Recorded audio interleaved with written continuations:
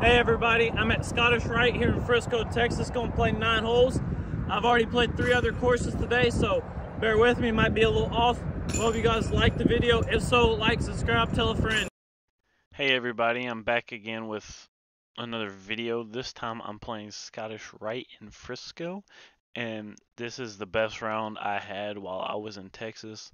Although it was only nine holes, I ended up shooting three down, which is pretty good. I'll take it. But I was playing with John John again this day, and he ended up shooting six down. So obviously, there's room to be improved. And like a couple of these holes I'm looking at, like neither one of us parred this par this par three on hole two. It's 190 feet is what UDisc says. So obviously we both have room to improve. But overall, I really like this course. This course was um, laid out behind a hospital, so I thought that was pretty cool. In case you had ever be at a hospital for a long extended time, you could come out back and get you some exercise and get you around the disc golf in while you were waiting on somebody else. So I thought that was pretty cool. And like I said, this was our third round of the day, so obviously we're both very tired, but this was very short course, so it really wasn't that bad of it. I know if I would go back, I'd probably shoot like four or five down, which isn't a whole lot better, but a little bit. That's all I'm looking for is a little improvement. But I mean, you can just see me and John are just tearing this course up, and I throw a backhand there, which is kind of crazy.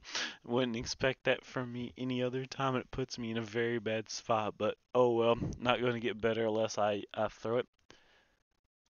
So a little quick update on tournaments and new tournaments. I just recently competed in the Camp Loucon Open, which I have a video of me playing that course on my channel, and I ended up shooting one down for the tournament and ended up in a four-way tie for second place, which is really good considering that's only my third tournament I've ever played in, so I I will take it. I also have another tournament at uh, the battle at Basel, which is the end of this month, and then I have two tournaments in September as of now, and then one of them's gonna be at um Lake Cumberland, and the other one's gonna be at Leitchfield at the city park. Both of which I have videos on my channel uploaded, so you guys should go check them out. Give you an idea of what I'll shoot, but those videos are both very old, like six, eight months old, and I have honestly gotten so much better since then. I can't stress how much better I feel I've gotten since going on this trip, guys. It's ridiculous. But I was down here. I enjoyed all the courses I played at.